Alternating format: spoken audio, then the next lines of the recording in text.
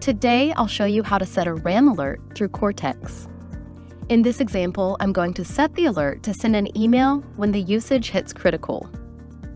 From your Syxsense console, you're going to scroll down to Cortex. In the Cortex console, you'll select Create, and this will bring up the Cortex Workflows editor.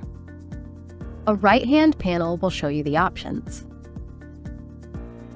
We're going to select RAM usage under the OS folder.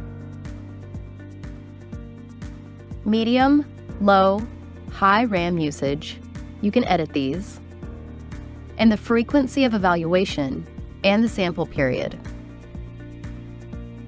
In the frequency of evaluation and the sample period, you can edit these.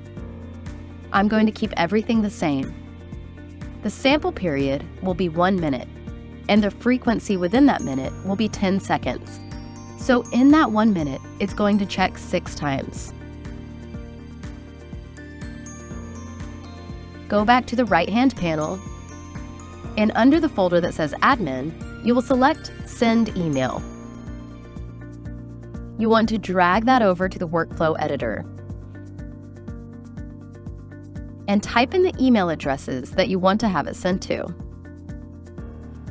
Once you have the email, the subject, and the message, you can save that. The workflow editor will automatically link low.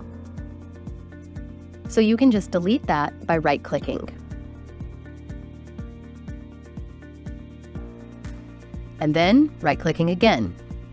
Connect. Critical to send email. Don't forget to name it save, and close.